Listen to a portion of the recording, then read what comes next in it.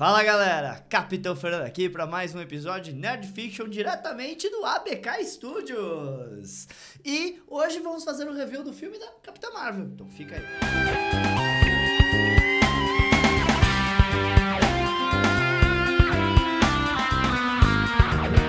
Bem, gente, é isso aí. Capitão Marvel está nos cinemas, então eu e a Luísa fomos ver, né, amor?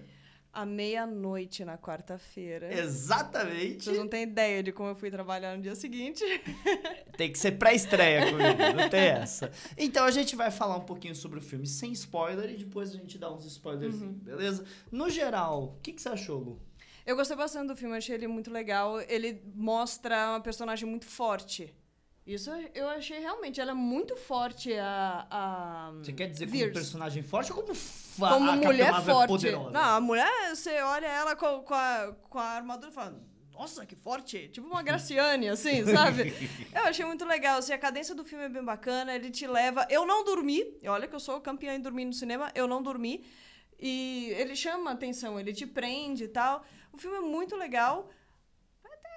É, né, tem aquelas coisas, mas o filme é muito bom, eu gostei. Eu gostei bastante do filme, acho que o filme foi aqueles que estavam falando que ia ser uma propaganda de feminismo de duas horas, não é. Não, não é. Não é de Não é maneira mesmo. alguma. É claro que quando você tem uma personagem feminina no filme, você vai ter um ou outro mensagem feminista, mas isso não é o mínimo problema. Agora, não, não é isso que estavam falando que ia ser. É. Agora, também não tão esse negócio de, ai, é um passo tão importante para as mulheres, é o primeiro filme das mulheres, não tem. É, isso também é outra coisa que não. não Pra existe. isso a gente tem Barbarella, né? Ah, já, pelo amor de Deus.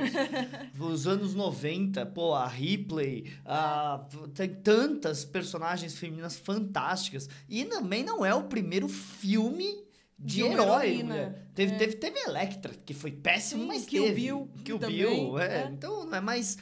No filme, em termos da Marvel, não é o melhor da Marvel. Não, isso não é mesmo. Tá longe de ser o melhor da Marvel, mas também não é o pior da Marvel. Pra mim tá entre os melhores. Tá ali, eu acho que tá ali no Porque ele meio. é gostoso, sabe? ele é gostoso meio. de assistir. Entre. Tipo assim, vai, um Guardiões da Galáxia foi muito mais Isso, legal. é. Um, um é, Capitão América, Soldado Invernal foi mais legal. Agora, foi bem melhor que um Homem de Ferro 2, sabe? Com certeza. Do que um Hulk 1.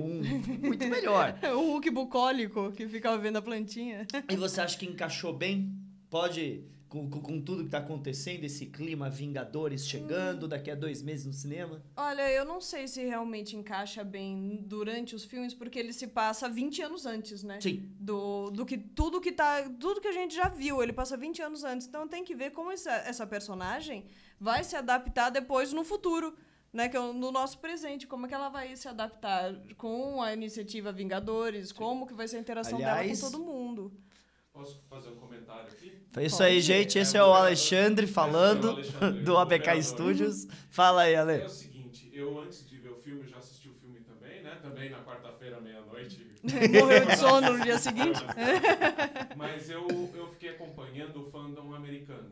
Tava tendo uma guerra, tanto que Sim. o Rotten Tomatoes tirou do ar o, É. te- O Want to termômetro See, dele, o Tiraram, quem não sabe. É, e eu acompanhei todos os vídeos do Fandom Menace, de todo o pessoal e toda a treta que tava acontecendo lá. Assim, pintaram um monstro, tá? Eu assisti o filme e não achei Uhum. que é aquele monstro que Também não pintaram. achei. É, foi tudo dodói, né? Achando É. ruim das coisas. É, então, mas por causa disso, o que que, o que, que eu sei é que, tipo, fi- filmaram vários finais pro próximo, pro Avengers. É, eu soube disso. E tanto pra, pra, pro pessoal não saber que final que vai aparecer, quem que vai matar o Thanos e coisa desse tipo, mas assim, o boato que corre com, com, com bases sólidas é que assim, ia, ser um, ia, ia ter uma participação maior da Capitão Marvel por causa de toda essa, essa briga. É, parece que eles vão tirar, vão na, na edição final, que ainda vai ser distribuída, né? Uhum. Eles estão no na finalização da, da edição. Eles vão é, tirar um pouco da, da, Da né? participação da, da Capitã Marvel é, É. do- do- nesse final. Aí ela vai estar, não, não vai deixar de estar, mas Uhum. vão tirar um pouco. E é por causa de toda essa repercussão que teve. Não, né? que, que, que ela a tá, gente, ó, tem duas É. cenas pós-créditos e uma delas Tem, Tá. é. é, é, é uma ligação total com o com, com É uma- Vingadores, tá? Parece uma Então, cena do, é. do filme dos Vingadores. Então, gente, aliás, fica e assiste as cenas. Mas isso que o Alexandre estava falando, realmente, é, pelo que a gente sabe, tem um script que dá mais é, espaço para Capitã Marvel e um script que dá mais espaço para Viúva Negra e não para Capitã Marvel. Então, é que eles não sabem, eles vão ver de acordo com a reação de bilheteria do filme. Se o filme for um Pantera Negra, É. aí você pode ter certeza que vai ter muito É, mais Capitã Mas Marvel. foi, pelo que eu entendi de toda essa treta que rolou aí, entre é, palavras que a- os atores falaram, as atrizes, o produtor, o fandom falando também, foi um grande exagero de todas as partes. Mas assim, eu, eu também quero meter De um colocar pouquinho. palavras erradas. Não, sabe? interpretaram muita coisa livremente e teve outras coisas que os atores falaram também que eles foram infelizes em falar, que não deviam ter falado. Tem erro pra todos os lados aí, né?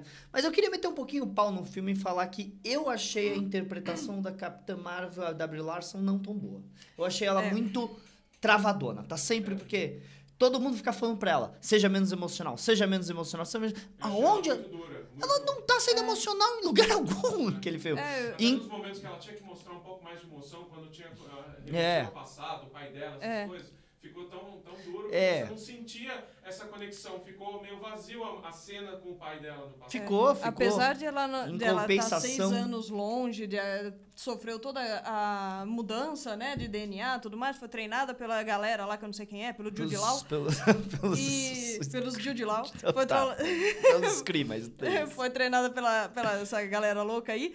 E sempre pra reprimir as emoções dela. Mas mesmo assim, na hora de ela falar as frases, ela parece Não, uma mas- é, não tem a hora que- nenhuma. Assim, eu achei a atriz que fez a Maria, a melhor amiga dela, Sim, tava muito tava melhor. A menininha A hora também. que é, é- elas estavam dando uma interpretação ali, a hora que ela, que ela fala com ela, eu, eu perdi minha melhor amiga, você É. sente que ela perdeu a melhor amiga. A Capitã Marvel eu não sinto, a Carol Danvers eu não senti. Até a sobrinha, a, a menina menininha lá, é é, tá a fantástico. É. E o gato Jackson. é maravilhoso também. Ai, O que gato. lindo aquele gatinho. O gato tá demais, Samuel Jackson, a jovem, tá demais, muito lá. bem. Os cri. Os Duende Verde também. se- O cara cheio de, de, de massa na cara transmitia mais simpatia à raça deles do que a Eu fiquei emocionado quando eu vi ele encontrando a família lá na É. nave. Ficou, foi Foi bonito. muito- muito foi emocionado. Muito bonito. Então, E- Tomou um spoiler agora. É, gente, vamos, é, vamos agora vamos Sorry, pros spoilers, estamos nos spoilers.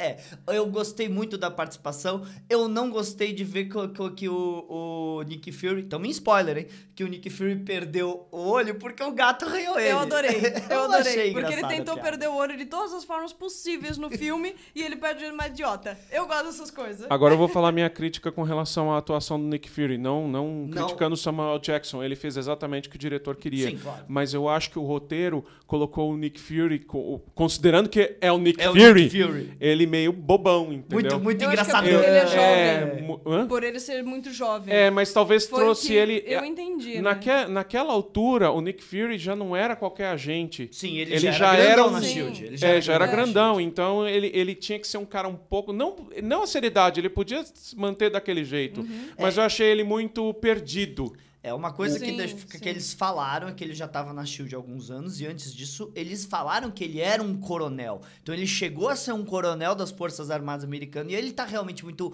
bobão, brincalhão. E eu É entendo. Jocoso demais. Eu entendo. Eu gostei também do, do, do, do Clark Guy como o Phil Coulson voltando pro papel mais jovem, com, Sim. com uma peruca, claramente uma peruca. Mas é, não sei se vocês sabem que eu acompanho o Mar- Marvel eu Agents também of ass- Shield. assisto a gente. E essa, essa, o fato de aparecer o Coulson, rolam os boatos de que ele vai aparecer mais de novo no MCU. E, e usa o- a ideia, mostra ela recebendo sangue Kree. Aham. é, e justamente porque ele foi ressuscitado recebendo Ele sangue foi Kree. ressuscitado então sangue é Kree. tipo, o, o, o, o- em termos de fanservice, o Capitão Marvel foi muito importante para voltar a conexão com Marvel Agents of Shield e de repente trazer o Coulson de volta para o MCU. Não Eu sabia nada pessoalmente, eu É o, que, pessoalmente é o que tá discutindo aí fora. Eu pessoalmente gosto muito de Marvel, os Agentes da Shield, acompanho todas as temporadas. Não é o melhor seriado de todos os tempos, Eu não é o melhor um seriado episódio. de herói de todos os tempos, mas é bem legal. Mas é bem legal, vale a pena ser visto. Tá? E assim, de uma maneira geral, gostei bastante. Achei que o Tesseract ali não encaixou tão bem na linha temporal. Achei, achei. Porque a gente sabe que ele tava com o, com o Harry Stark no final do Capitão América. Como foi parar na mão da Marvel? Eu não sei essa ligação, porque tava com a SHIELD. O Henry Stark fundou a SHIELD, então o, o- tava com a SHIELD. E ele voltou pra mão da SHIELD no final, ok. Mas como foi parar com a Marvel, que eu não sei. Uma cena rápida teria resolvido isso. Uma cena da Marvel conversando com, sei lá, com, com Qual que é o o- Howard Stark É. ou alguém assim. Não, É Howard uma Stark não, cena foi da Marvel o Tony com, ou a, alguém. com, a, com a agente Carter, qualquer alguma coisinha coisa, rápida. uma cena rápida que mostrasse que foi entregue ou que tinha alguma referência e ia resolver tudo Ia isso. resolver Talvez completamente. eles podem explicar isso no próximo filme, né? Pode ser, pode ser que um Pode ser. próximo Capitão Marvel Que a gente tenha tenha mais mais profundidade da Marvel Porque também. a explicação da origem da, da Vir, né, da, da Capitã Da Carol Marvel, Danvers. É, é, ela não sabe. Então a gente conhece a Danvers a partir das memórias da Vir, que vem durante o filme, né? Sim, mas a única coisa nessa parte que me incomodou é o fato de que todos nós sabemos que ela é humana. E ela demorou muito pra. A gente sabia que ela era uma pílula, a gente sabia de um monte de coisa.